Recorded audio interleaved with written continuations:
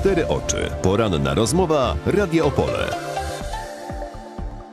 A ze mną w studiu jest y, pan Bartłomiej Pater, aspirant sztabowy, były dowódca opolskich antyterrorystów. Dzień dobry. Dzień dobry, witam serdecznie. Spotykamy się niemal tydzień po tragicznych wydarzeniach w Gdańsku i od tego momentu padło już wiele pytań dotyczących y, różnych aspektów tej sytuacji. W naturalny sposób pojawiają się też pytania o bezpieczeństwo. Nie chciałabym jednak dzisiaj rozmawiać o tym bezpieczeństwie zinstytucjonalizowanym, o tym, co powinna w takiej sytuacji zrobić policja, y, ochrona itd. tak Tylko chciałabym zapytać o to, co my, każdy pojedynczy obywatel w takiej sytuacji powinien zrobić. Zacznijmy od tego, że takie sytuacje się niestety zdarzają i będą zdarzać, prawda? Tak, zdarzają się i będą się zdarzały przez brutalizację życia tego, co się wokół nas dzieje. My coraz więcej zaczynamy hejtować, zaczynamy e, używać słów wulgarnych, zaczynamy pokazywać swoją agresję na zewnątrz. Nie wiem, czy to wynika z frustracji, która z nas siedzi, czy po prostu z jakiejś niemocy i słabości. Natomiast... Yy, jak się temu przeciwstawić? No, każdy, y, każdy z nas, każdy obywatel myślę, że powinien zacząć od siebie. Nim zaczniemy oceniać innych, zacząć od siebie, zacząć budować od siebie świadomość tego, że świat nie jest taki zły, bo my budujemy ten świat. No właśnie, często teraz słychać, że najlepiej nam wychodzi robienie rachunku sumienia czyjegoś, a nie zaczynamy od siebie. No ale właśnie, jest taka sytuacja jak ta w Gdańsku. Y, jesteśmy y, tak jak wtedy na imprezie masowej i dochodzi do jakiegoś y, aktu przemocy. Czy my mamy wtedy interweniować? Czy my mamy się skupić wtedy na przykład na poinformowaniu kogoś, sygnalizowaniu, że tu coś się dzieje, żeby no właśnie chociażby nie przeszkadzać służbom? Samo interweniowanie rozpoczyna się od tego, że już podejmujemy cokolwiek, jakiekolwiek działanie zadzwonienie nas do odpowiednich służb, tak? Wybranie tego numeru telefonu to już jest działanie. To jest trochę jak przy sytuacjach ratunkowych. Komuś chcemy pomóc, pierwsza pomoc dziś jest bardzo mocno rozbudowana i nawet dziecko bierze i dzwoni, tak? Tam są odpowiedni operatorzy, którzy już kierują tą rozmową co dalej. Więc tutaj w takiej sytuacji masowego zagrożenia, które się pojawiło na takiej imprezie masowej, to samo uruchomienie telefonu, zadzwonienie do odpowiednich służb już jest, już jest reakcją. Czy krzyknięcie w stronę na przykład ochroniarza? Czy tak, poinformowanie, czyli ruszenie się w kierunku służb, że tam się coś dzieje, zaistniała jakaś sytuacja, to już jest działanie. Ale nie rzucać się samemu?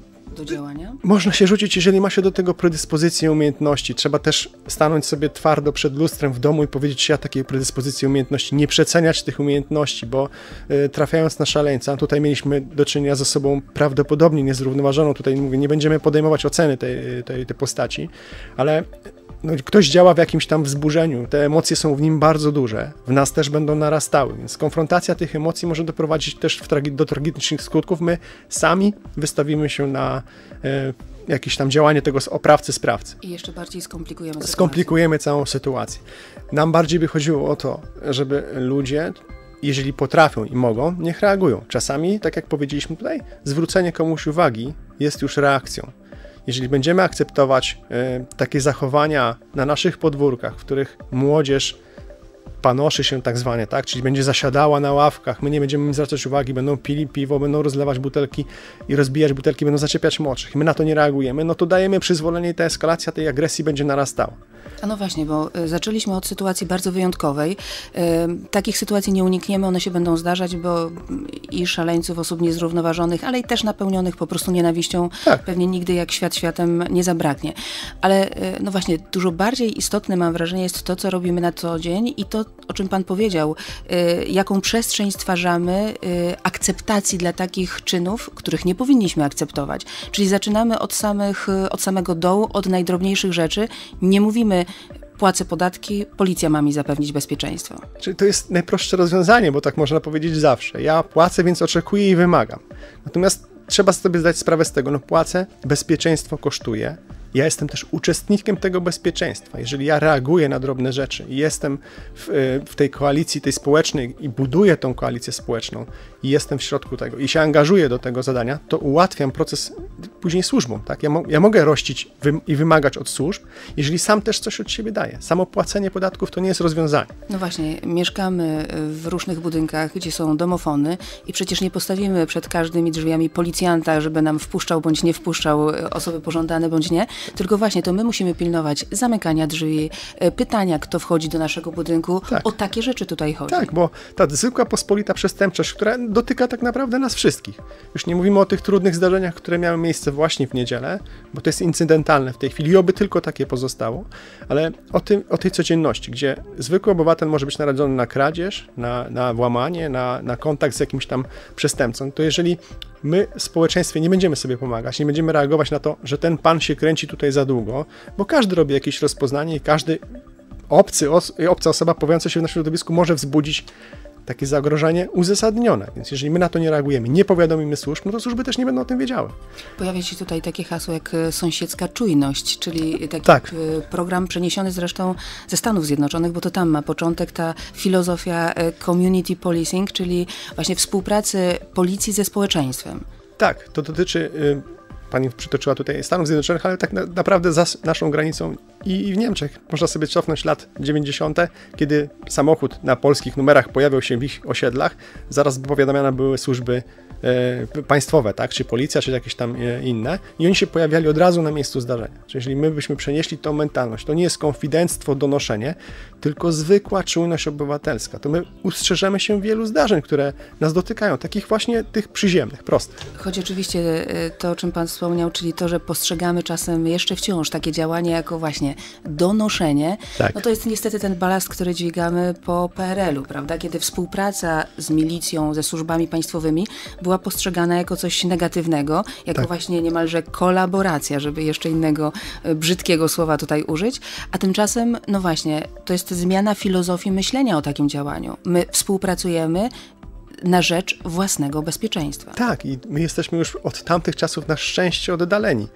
Natomiast musimy przestawić też sposób myślenia i patrzenia na tego właśnie typu zjawisko. Tak jak tutaj mówimy, my chcemy uczestniczyć w procesie bezpieczeństwa.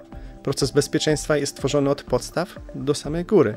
Służby zapewniają nam poziom bezpieczeństwa na odpowiednim pułapie, natomiast my musimy sami też do tego pułapu coś dorzucić nie postawimy przysłowiowych policjantów i innych służb, czy pracowników służb specjalnych. Jeżeli te informacje nie będą płynęły od dołu, to oni tak naprawdę działają trochę po omacku. Wykorzystują urządzenia techniczne, oczywiście inne formy pracy, natomiast my, obywatele, musimy czuć w sobie to poczucie bezpieczeństwa. No tak przypomnę jeszcze raz Stany Zjednoczone, bo to mniej więcej właśnie w 60 latach y, policja skoncentrowana właśnie na tych osiągnięciach technicznych zaczęła notować duży spadek wykrywalności, no i zdumieli się, no bo właśnie coraz lepsze sprzęty, DNA, nie DNA, Tak. nie wiem czy to już wtedy to DNA, ale, e, ale duży postęp technologiczny, e, ale właśnie zorientowali się, że stracili kontakt z obywatelami, a bez nich to naprawdę, to naprawdę się nie uda. I to tak wygląda. Jeżeli y, my nie mamy Z kontaktu. praktyki to potwierdza. Tak, z prak- to oczywiście, jeżeli my nie mamy kontaktu ze społeczeństwem, nie współpracujemy z tym społeczeństwem, no to nie będzie tych wyników. One oczywiście do pewnego pułapu będą realizowane, bo to jest naturalne, ale reszta rzeczy będzie wynikała ze, ze społeczeństwa. Jeżeli ten dzielnicowy pojawia się w tym obszarze miejskim, rozmawia z tymi ludźmi, ci ludzie są otwarci do niego, no to te informacje będą płynęły. No nie ma innej sytuacji. A co z takimi na przykład sytuacjami jak e, głośne zachowanie jakiejś grupy w pociągu chociażby? E, Reagować e, osobiście, czy wzywać na pomoc umundurowanych tamto straż e, ochrony kolei? Kolej, tak, strasznie. Ja bym się do tego odniósł w taki sposób, że hmm, każdy z nas musi postawić tę barierę e, swojego bezpieczeństwa w jakimś tam granicy. Jeżeli ona zostaje naruszona, czy, czy nam to zaczyna przeszkadzać, wchodzi w naszą strefę intymności, należy reagować. Różne stopnie e, reakcji następują w sposób do swoich posiadanych umiejętności, czyli jeżeli ja czuję się silny, buduję w sobie tę mentalnie tą siłę, to nie chodzi o to, że jestem dużym, napakowanym mężczyzną, tylko mam na tyle odwagi e, w społeczeństwie, że potrafię się zwrócić uwagę Upomnieć, o upomnieć się o prawa. swoje prawa, tak. Bo nikt nie chce z nas mieć naruszanej swojej przestrzeni intymnej, prawda? Jeżeli tutaj ktoś zachowuje się w sposób wulgarny, czy używa, nadużywa tych słów wulgarnych, nam to przeszkadza, wystarczy zwrócić mu kulturalnie uwagę. My nie musimy się zniżać do jego poziomu, bo to wywoła, bo to wywoła y, też odpowiednią akcję i reakcję. Jeżeli my sukcesywnie będziemy do tego się odnosili, no to myślę, że to będzie przynosiło skutek. Oczywiście pamiętajmy, że mamy też telefon, powiadomić odpowiednie służby, że takie rzeczy się zdarzają, czy, czy mają miejsce.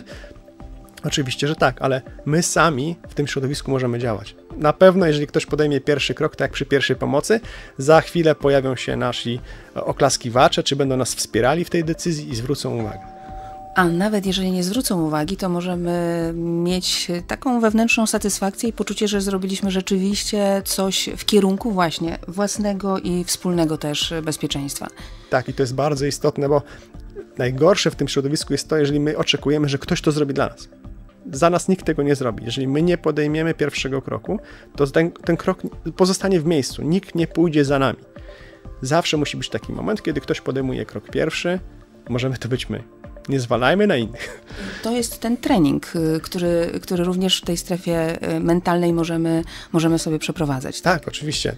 Samo poczucie też swojej siły budujemy poprzez zwykły trening fizyczny, czy będziemy jeździć na rowerze, czy będziemy chodzić na siłownię, czy będziemy uczestniczyć w innych zajęciach, to też wzmaga w nas takie poczucie, że własnej wartości podnosimy tą wartość, do tego dorzucimy ten trening mentalny, wierzymy w swoje umiejętności w siebie i idziemy, i idziemy do przodu i to jest ważne nie bójmy się mówić o rzeczach, które nas dotykają.